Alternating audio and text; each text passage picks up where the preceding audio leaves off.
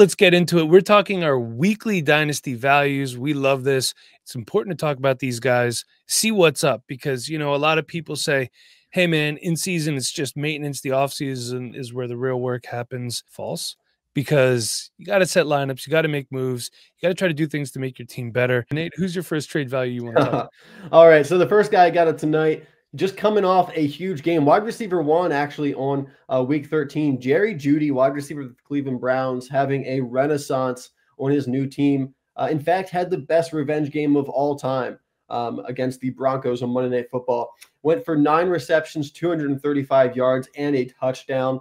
And since week eight, when Jameis Winston took over for the Browns at quarterback, he leads all wide receivers in receiving yards, despite having a bye during that time as well. So Jerry Jeudy looks like a completely different receiver with Jameis Winston throwing him the ball. Right now, he's wide receiver 14 on the season, averaging 13.7 points per game. What are we doing with Jerry Jeudy? Because, hey, we scouted him when he came out of Alabama. We were both big fans of him. I remember the discourse back then in the offseason. It was, hey, is CeeDee Lamb or Jerry Jeudy the wide receiver one? And a lot of people had him ranked 1A and 1B. I mean, Jerry Jeudy was a really good prospect coming out of college, a great route runner, great hands, even though he struggled with drops early in his NFL career. So it's great to see him finally having that, you know, breakout that we expected from him. Uh, is it going to last though? That's the question. Well, let's look at the trade values. Let's see if it's worth buying into him, or maybe he's a sell right now, coming off this big performance. Second round pick, straight up. This really happened. Was this recent? Within a few days ago. Yeah. This was after that game. After the game. I mean, look, if someone's like, "Hey, you could have Jerry Jeudy for a second round pick," and be like, "Sold." Yeah. I mean, I, here, let you know what? I'll save the YouTube commenters the trouble that's not getting done in any of my leagues. Well, guess what? This is courtesy of Dynasty Daddy for Nate's trade. So it happened in someone's leagues. I will pay that. Yes. It sure did. I would absolutely too. Would you pay a first though? I, I think if I was if I think I could win it all right now with the way Jameis Winston's playing, with the way Jerry Jeudy is Jeudy is playing with him, yes, I would. I I agree, especially because Jerry Jeudy, um, I believe, only 25 years old still. Uh, he came into the league young, so I'm I'm I'm in on Jerry Jeudy and have been First for a round while. pick for Jerry Jeudy and three dollars FAAB. Let's get it done. There we go. All right, the next one I got here, uh, Jerry Jeudy and Jameis. So you're getting the two of them. I saw this trade go down on Dynasty Daddy. I, I did not make this up. Two second round picks for Yeah. Jerry Jeudy and Jameis Winston. It's a nice little stack to have there. You know what I mean? Eh, eh, You know, if Jameis Winston could ever stop the turnovers, he he would get a nice contract from a team, for real. Yeah. Uh, yes, I would do that. Yeah, and I and I agree that with the YouTube comments that would be hearing this right now, it's too cheap, way too cheap. But Mike, would you do a first and a second for Jameis Winston and Jerry Jeudy? If I'm pushing for uh you know a championship, yeah, especially with this week 14, there's a lot of good players on by. Yeah, I would Sure. consider it. All right, and then another straight up swap here. We got Russell Wilson for Jerry Jeudy Russell Wilson, that's an interesting one. I'm looking up right Just now. threw for what 400 yards against the uh, Bengals. Where is Russell Wilson on the season? Hmm, that's a very good question. I'm Um, going to guess like quarterback 16, 17. Uh, you would be wrong. 16 is Justin Herbert. 17 is Jordan Love, believe it or not. Russell Wilson, I don't know why I'm not. He did miss a couple games at the beginning of the season. Yeah, so he's down there a little bit. I wanted to look for his fantasy points per game, but uh, that's besides the point. Um, Why can't you find it, Mike? You just go to the quarterbacks. I'm going Found to look at it right now. Where? 17.8 fantasy points per Uh, game, my man is quarterback 31 which is just crazy. uh, because he's only played six games. So that's um, why. If I if I have enough quarterbacks to make it through, and Russell Wilson's kind of like an extra, my third, my best third or fourth quarterback. Some people have a lot of quarterbacks super flex, then yeah. Um, but that is a, a premium position, the quarterback in a super flex league. So that's team dependent, but I don't hate the trade. All right. I, I'm, I'm good with it. But Mike, listen to this. You're to love this. Russell Wilson averaging 17.8 points per game, which is good for quarterback 12 in points per game, tied with Patrick Mahomes. Interesting. Patrick Mahomes not having the best season this year. No, Russell Wilson's also above in points per game. Kyler Murray, Jared Goff, Caleb Williams, Justin Herbert. A lot of guys. Interesting. Nate, would you like to talk about another standout wide receiver? That is Cincinnati Absolutely. Bengals wide receiver Ja'Marr Chase. Look, there's not much that needs to be said. He continues to be late. He's already over 1,000 yards on the season. He has 1,142 yards. He's already matched his career high in receiving touchdowns with 13. we still have couple weeks left to go here. He's currently leading the NFL in receiving yards and receiving touchdowns. He's wide receiver one on the season. He's averaging more than Russell Wilson, 22.7 fantasy points per game. Yeah, he's going crazy. And this is why I wanted to put him on here because sometimes when we're looking at values, you know, a player like this is going to help you win now and keep winning for the next few years. What does it cost to get Ja'Marr Chase? Hmm. Drake London, a 25 first, 25 second, and 25 third. Love this deal. Yeah, you would do that? Oh, yeah. You, you don't feel like that's an overpay at all? No. Three no. picks in Drake London. No. Um, if it was like, you know, if there was another first in there that was giving away two first plus Drake London, I think that's where I start to be hesitant. I yeah. think once you get to three firsts plus value, um, I don't know if any player is really worth that. You know, we just had discussions in the past. You know, is Justin Jefferson worth that? You know, to like two seasons ago, we talked about it. You know, once you get to three first round picks of value, you're, you're kind of capping out on is it worth it to really make that trade. Um, with this, we're close to that certainly because Drake London is worth more than just a straight up 25 first. Um, we're definitely close to that, but I'm I'm upgrading to Ja'Marr Chase, and you know you're looking at the wide receiver position. And Drake London's having a great season. I'm not going to say I've ever taken away anything from Drake London because I just told it like it was. Uh, but I'm not taking anything away from Drake London this year. He is wide receiver six in the season. But between him and Ja'Marr Chase is 7.3 points per game. Yeah. Drake London, 15.4. Uh, the next one, Rashee Rice, Rome Odunze, and a 25 first for Ja'Marr Chase. Now, obviously, Rashee Rice not helping this year. Could be a slow start next year. We don't know what that ACL. But then we got Rome Odunze and a 25 first. What do you think about this one, Nate? I'm pretty good with this either way. I think um, this is kind of two teams going two different directions. If you're trying to rebuild, you need assets. Like you have Ja'Marr Chase and a bunch of crap. I think this is a reasonable trade to trade away Ja'Marr Chase. Um, you get two wide receivers that you know, you know, Rashee Rice. You've seen what he can do, and he's on a great team. Um, you got Roma Odunze, who we believe he's a great prospect. Um, he was a great prospect. We believe he's going to be a good wide receiver. He's already had two games over 100 yards in his rookie season. Um, and Keenan Allen's not going to be there next year. And then the first round pick. So I'm, I'm good with this if you're a rebuilding team to move Ja'Marr Chase for this, but I'm also good with it if you're a contending team. You know, those guys aren't helping you right now. Uh, go for the championship. And right now, Ja'Marr Chase is a cheat code. So yeah, like I said, he's going to help you win later too. Last one, it's a good one. Saquon Barkley for Ja'Marr Chase and a 25 second. Yeah, uh, I'm taking the Chase side here as well. Um, I value Chase over Barkley. Uh, you know, one thing if you're a contender, you need running back help. Obviously, that might influence how you're going to value those two guys, but still, um, I'm, I'm always going to almost always value Ja'Marr Chase over Barkley. I mean, we, we said Chase is averaging 22.7 points per game. Uh, as good as Saquon Barkley's uh, playing this year. He's averaging 23.8. So you are getting a slight advantage in points per game, but 1.1 points per game. Yeah. I mean, I'm, I'd, I'd rather have Chase. Nate, who is your next dynasty value? All right. We're going to keep talking about wide receivers. We're going to talk about a wide receiver on the team that Jerry Jeudy left. We're talking about your guy, Courtland Sutton. All right. Love Courtland it. Sutton, 29 years old, wide receiver seven on the season, averaging 13.9 points per game. So this is this is an interesting um, I already used discourse once tonight, so I don't want to say that again. Um, discussion, even though it's basically like a similar word. Um, you know, Courtland Sutton, wide receiver seven on the season, right? Well, you go by points per game, and all of a sudden, Courtland Sutton is wide receiver 24 on the season. Um, and it's really interesting to look at, you know, these players on a points per game basis, as well as looking them on overall, because while we also do say the best ability is availability, if I could have a guy that I can plug in my lineup 10 of the 17 weeks a year who can score 20 points versus a guy that's going to give me 13 um, pretty often. You do have to find a way to value that depending on how your team is set up, how your lineup is set up. So just something to take into account when we're talking about Courtland Sun. But he is Bo Nix's wide receiver one. I love Bo Nix. I love what he's doing this year. Some of the throws that he's made down the field has been really, really impressive. I think he's up there, uh, top three in the offensive rookie of the year. So, do we want Courtland Sutton moving forward?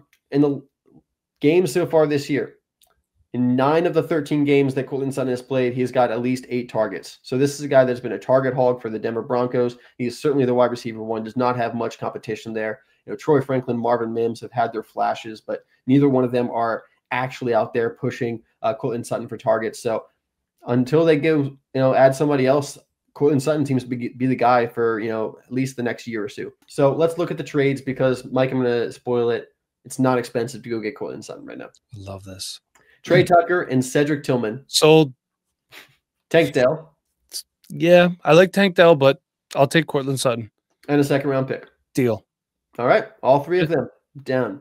I, I like Tank Dell too, but I'm taking Courtland Sutton right now. I, I want that. I want that guy. I think things are going to even get better. Bo Nix was a really good end to the fantasy season. Um, defenses that they're playing, they have a good schedule. So I think Courtland Sutton going to be a great guy to help you win your league this year. Next one I got for you is Miami Dolphins tight end Jonnu Smith.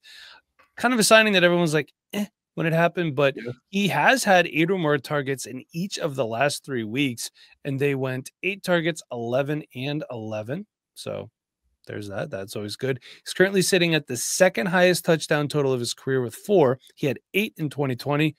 Could he match it? Maybe. It's possible. There's still time. And he already has his career high in receiving yardage with 648. He had 582 last year with Atlanta and 58 catches, 648 yards, four touchdowns. And he is tight end five on the season. Yeah. He is right ahead, Nate, of Mark Andrews, Zach Ertz, K. Dot, and Hunter Henry and Tucker Kraft, rounding out the top 10. What does it cost to get this player? These are trades that happen. My trades courtesy of Fantasy Calc. A 26 third. Yeah, I'm good with that for a competing team. Yeah, I don't know how. I, like just to be honest, I'm not sure how I feel about Jonnu Smith on a long term basis. I, I, like the Dolphins. You know, I think they have a lot of weapons there. It doesn't really seem like Jonnu like stands out as one of the top weapons on the Dolphins, but he certainly has been over the last couple uh, weeks, and he is signed through next year. So yeah, something to consider for sure for the long term. But as far as the rest of this year, I mean, you're lucky to have him as your, your tight end. How about this one? Braylon Allen for Jonnu Smith and a 25 fourth. If you're competing, I'm, I'm good with the Smith side, but overall, I do prefer the Braylon Allen side here. Okay. And last one, a 25 third and a 26 third. So two thirds. No. No, you're only comfortable with the one third. What if it was a... the one third? I mean, I don't hate this. Like, if you, if you want to do this deal, I'm not going to be like, oh, that was a bad deal. Um, I probably personally wouldn't make it, um, just because I don't. I'm not convinced on the long term viability of Jonnu Smith. I, you know, does he end up just kind of going regressing to like being a tight end two on your team? I, am just not sold yet. But I'm, I know that there are people out there that are completely sold on Jonnu Smith. This is not a lot to pay for him, especially with what he's going to do for the rest of your your season. So I'm good with someone else making this trade. I'm just probably not personally going to make this trade. Let's talk now about your next dynasty value. Uh, we talked about him a little bit already, but the rookie wide receiver for the Chicago Bears, Rome Odunze. Mm-hmm. All right. Some people are disappointed in the season that he has had so far. Okay. Wide receiver 54 in the season, 8.6 points per game. The stats so far 41 receptions, 543 yards, one touchdown. All right. People are disappointed by that. Mike, does this sound familiar? It sure does to me. Okay. JSN, JSN last year through 13 weeks, 45 catches, 468 yards, and two touchdowns. Let me hmm. just remind you, Rome Odunze has 41 catches, 543 yards, and one touchdown. JSN was averaging 8.7 points per game. Rome Odunze is averaging 8.6 per game. Interesting. Before the 2023 season, we said, hey, just keep your expectations in check. JSN's behind DK, uh, Metcalf, and Tyler Lockett. You know, he's he's the wide receiver three in the team, as good as he is. And it's gonna it's gonna be a slow season for him. It's still gonna be a good season, but it's not gonna be over a thousand yards. And look at JSN this year. You know, he's moving ahead of Tyler Lockett, absolutely and he's been really impressive, a top 12 wide receiver on the season. Now we got Roma Odunze in a very similar situation where before the season we said, hey, temper your expectations. Got Keenan Allen there. You know, fat Keenan Allen is what everyone's calling him in the offseason, but he's still scoring touchdowns out there. Yeah. Uh, a ton of targets still. DJ Moore and a, a rookie quarterback. And he's still put up 500 yards already through week 13. I don't want to hear anyone complaining about Roma Odunze. If you're complaining about his performance so far this year, your expectations were off, not his performance. So let's talk about buying into one of the top three rookie wide receivers coming into this year. Um, Rome Odunze, still a top five guy, absolutely for me. Calvin Ridley and Jake Ferguson for Roma Odunze. Yeah, I'm okay with that. Uh, Jake Ferguson, I believe he's still out. Thank you, Luke Schoonmaker, for everything you're doing. Um, yeah, I'm, I'm okay with this. Looking to unload Calvin Ridley too. I Love this trade. You know, anytime I get a chance to trade away Calvin Ridley, who I have zero shares of and have never had really any shares of, I'm happy to do it. So oh, we know. All right, next trade here. Bryce Young and Jonnu Smith, who we just talked about, for Roma Odunze and a third round pick. That's tough one just because of the value that quarterbacks get in super flex leagues. Um, but that being said, if you're really sold on Odunze, I, I don't hate this trade.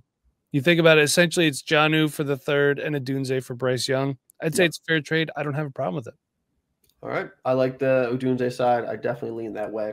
And then, Mike, here's a straight up swap Chase Brown for Roma Odunze. I don't hate it. I see the value. If I'm competing, I want Chase Brown right now. Chase Brown is playing really well. He's put racking up the fantasy points.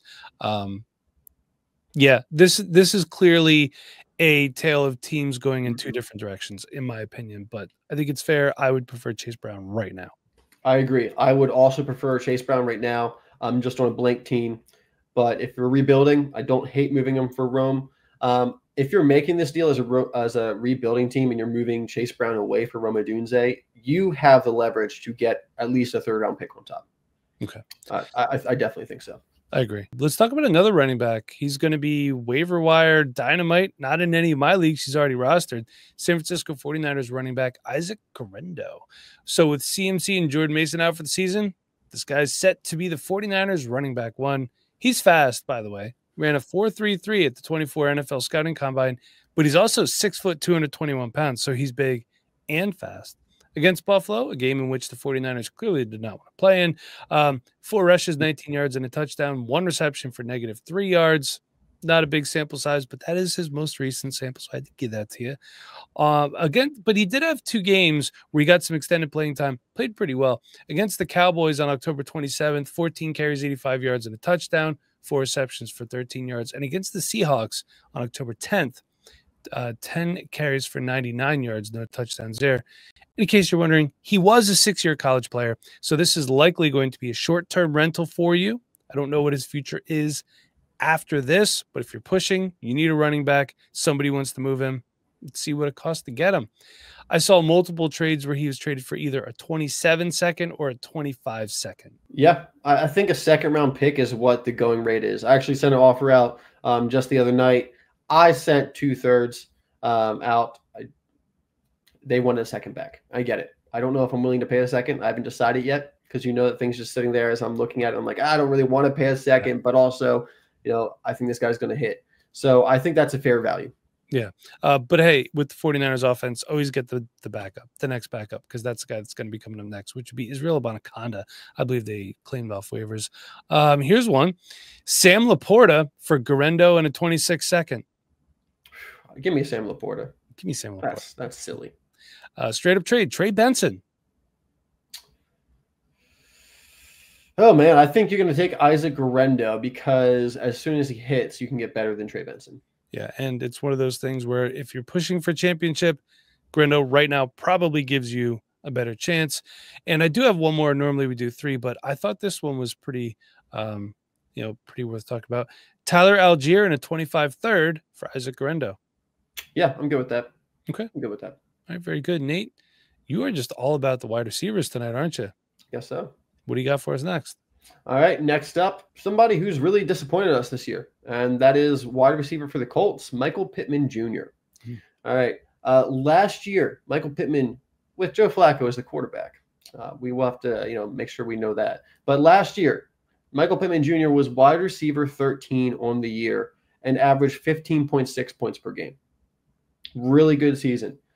Now, this year, so far through 13 weeks, wide receiver 46, only averaging 9.4 points per game. He's not even averaging double digits uh, per game, Mike, which is, as I said before, really disappointing. Um, he did just sign a three year contract with the team before the season started. So he is on the team through the 2026 season. I will say, I looked at the contract. He's a super easy cut after the 2025 season if they want. Um, they would actually save $24 million in cap space. They would only have $5 million of uh, dead cap, and he has a $29 million uh, cap hit. So they would save a lot of money if they went ahead and cut him after the 2025 season. I think he'd have to be really poor for that to happen. I don't expect that to happen because I think Michael Pittman Jr. is a good wide receiver.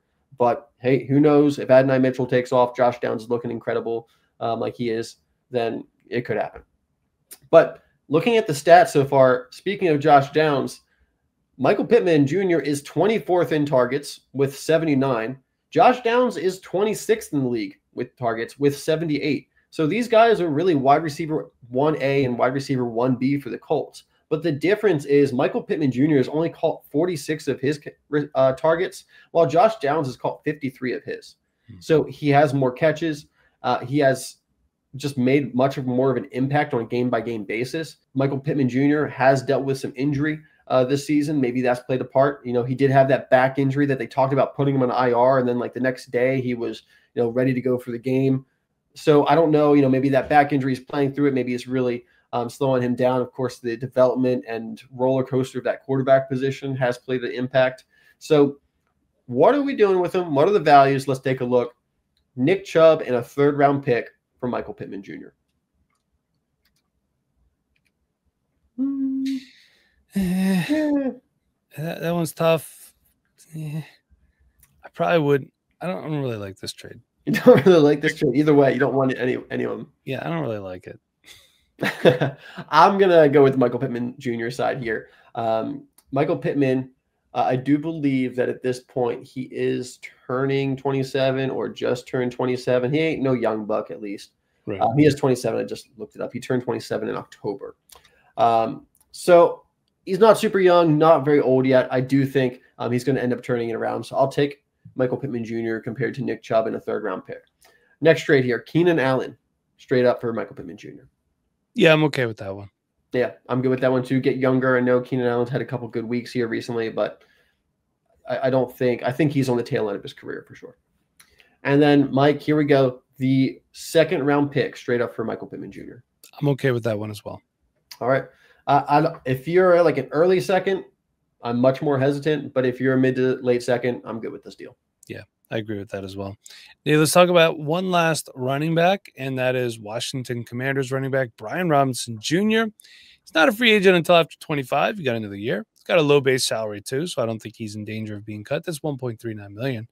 Ekeler's also under contract until 26, which I did not know, but he is much more cuttable than Brian Robinson is. He's on IR now. Maybe they decide to just part ways after the season. Uh, Chris Rodriguez, a guy that I would be putting in a waiver claim for as well, um, just because with Ekeler out, I think he could get some more run. Versus the Titans, 16 carries, 103 yards, and a touchdown, one reception for six yards. Has been used as much in the receiving game this year as in years past, but he can do it.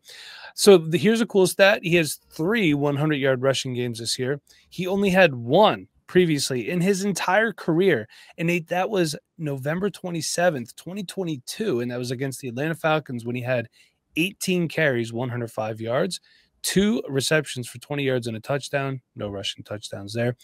And despite missing three games this year, two of those were for a hamstring injury, one's for a knee injury. He has 640 rushing yards. He has a chance to top his career high of 797 set in 2022. He's already set a career high of rushing touchdowns with eight but his total touchdown, you know, career rec- touchdown high, I butchered that one, is nine. In 2023, he had five rushing and four receptions. He's running back 26 on the season, 13.5 fantasy points per game. That's a really good running back to if you're good at wide receiver or a really good flex play on a weekly basis.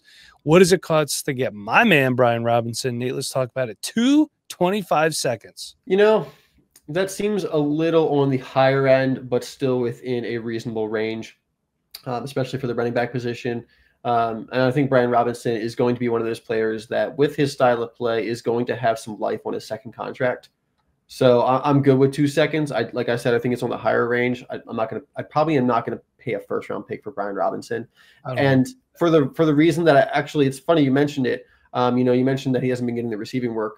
Um, that you know he had last year, and obviously a huge part of that is Austin Ekeler being there, right? Um, and also uh, Jayden Daniels. You know, we know that quarterbacks that use their legs more often don't throw to the running back as often as a pocket passer who's not as mobile. So with that all into account, I'm okay with two seconds, um, but that's about the highest I go uh, when it comes to just straight up picks. How about this one? Keenan Allen for Brian Robinson and a 26 third. Absolutely. I'll give the third and get Brian Robinson. Uh, and last one, I saw two straight up trades, either CMC or Garrett Wilson. I don't know who traded Garrett Wilson for Brian Robinson. That was a terrible deal. Uh, I hope you're watching this so that you can make better trades in the future. Um, CMC, I am not fully on the demise, the career demise of CMC that I think some people are on. Right. I think he comes back next year. I mean, this this guy trains super hard. He's really aware of his body. Um, he'll come back from this. I'm not worried about this being career ending at all. Um, now it seems like it's probably season ending. So if you're a contending team, um, I'm okay with you moving CMC to go get Brian Robinson, but you probably should get something on top of it if you're making that trade.